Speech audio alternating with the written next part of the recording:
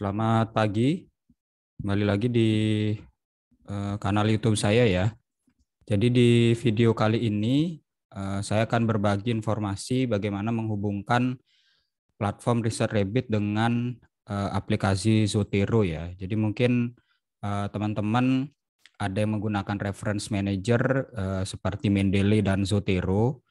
Tapi di video kali ini kita akan mencoba untuk menghubungkan Reset Rabbit dan uh, Zotero. Nah, jadi fungsi uh, untuk menghubungkan Zotero dan Reset Rabbit ini adalah uh, misalkan kita punya sebuah koleksi ya di uh, Zotero. Jadi ini adalah uh, Zotero saya dan kebetulan di sini ada satu folder begitu yang merupakan library dan ada satu artikel begitu. Nah, kita ingin me, apa namanya mengekspor ini ya ke dalam uh, Reset Rabbit. Jadi kita Eh, sudah punya koleksi dan kemudian kita ingin memasukkannya ke dalam Research Rabbit ini. Jadi di akun Research Rabbit saya ini uh, kosong ya, belum ada koleksi apa pun. Nah, dan kemudian saya ingin memasukkan uh, Zotero ini, library yang ada di Zotero ini ke dalam Research Rabbit. Nah, jadi anggap mungkin saya baru menggunakan Zotero dan kemudian saya ingin mencari paper yang berkaitan dengan library ini, gitu ya. Nah, jadi untuk sementara memang Research Rabbit ini masih uh, hanya bisa dipakai untuk menghubungkan Zotero saja, untuk Mendeley atau yang uh, lain belum bisa. Jadi bagi teman-teman yang menggunakan Zotero bisa memanfaatkan uh, fitur ini.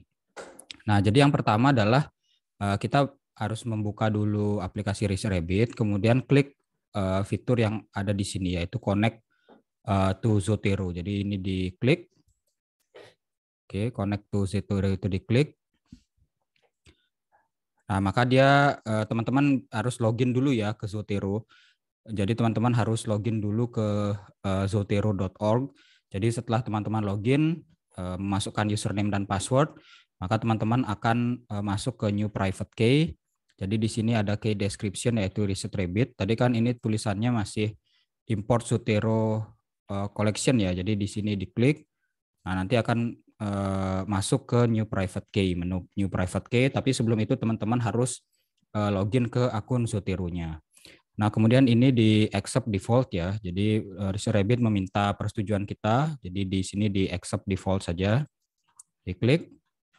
Nanti akan uh, ada persetujuan. Jadi Zotero integration success, successful. Close this tab and return to Rabbit to continue. Jadi ini bisa di close. Nah, kemudian di sini kita refresh dulu ya. Nah, refresh dulu. Nah, nanti tulisannya, tadi kan tulisannya connect ya, connect to Zotero. Dan sekarang berubah menjadi import uh, Zotero collection. Jadi tadi kan masih tulisannya connect to Zotero. Sekarang setelah kita klik bagian itu dan kemudian uh, bagian itu meminta persetujuan kita, nah maka dia akan berubah menjadi import Zotero collection. Jadi fungsinya adalah memindahkan uh, library kita, koleksi kita di Zotero ini ke dalam uh, Reset Rabbit begitu ya. Oke, kemudian kita langsung saja klik bagian import Zotero collection ini. Ini diklik. Nah, jadi Zotero menemukan ada satu koleksi saja ya di uh, Zotero kita. Jadi hanya satu koleksi tadi di Zotero. Jadi bagi teman-teman yang nanti memiliki banyak koleksi di sini di My Library ini, maka nanti di Research Rabbit dia akan muncul banyak sekali juga uh, uh, folder ya atau library-nya. Jadi kebetulan karena di sini masih ada satu, jadi saya coba masukkan satu saja. Dan papernya juga ada satu. Jadi kalau nanti satu library itu papernya ada lima, maka semuanya akan masuk ke Research Rabbit. Kemudian kita klik Start Sinkronisasi ya.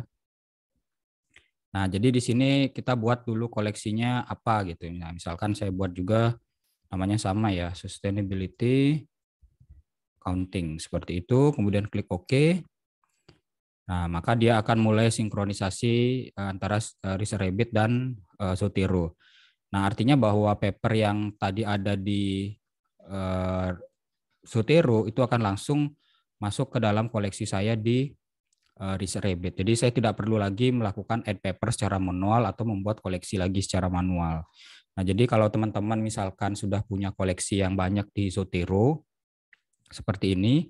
Eh, misalkan saya punya satu, jadi ini bisa diimpor eh, langsung di diekspor langsung ke Research Rabbit dan Research Rabbit langsung melihat ada satu paper dalam koleksi tersebut. Jika misalkan ada lima paper, maka kelima-limanya akan tampil di sini.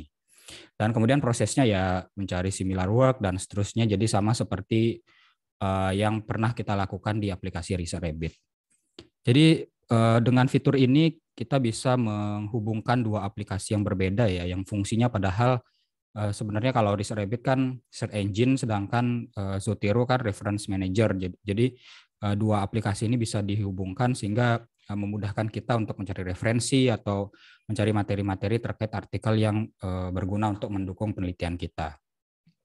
Oke, jadi demikian uh, secara sederhana ya video bagaimana menghubungkan Zotero koleksi kita yang ada di Zotero ini dengan yang ada di Research Rabbit. Jadi silakan teman-teman bisa coba nanti berapa ada koleksi yang di Zotero.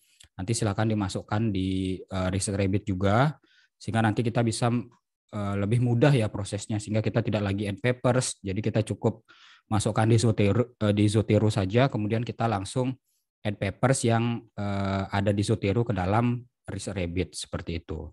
Kemudian kalau kita mau menghapus misalkan ya silakan di ini di delete misalkan di delete saja misalkan.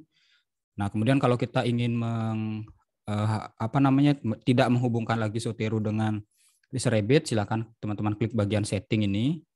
Nah, di setting ini kemudian uh, ada pilihan disconnect uh, Zotero account. Jadi silakan diklik bagian uh, disconnect ini. Nah, kemudian kita refresh lagi. Tadi kan tulisannya import ya, Sutiro. Jadi kita refresh lagi research Rabbit-nya. Nah, maka dia akan tulisannya menjadi connect to Zotero seperti itu. Jadi uh, untuk mengulang proses tersebut ya kita klik lagi connect to Zotero ini untuk memasukkan library lain yang lain dari Zotero kita ke Research Rabbit begitu.